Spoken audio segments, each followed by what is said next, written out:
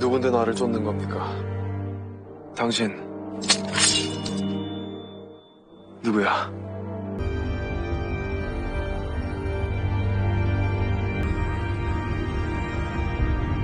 이 칼을 아는 걸 보니 술상가 보네.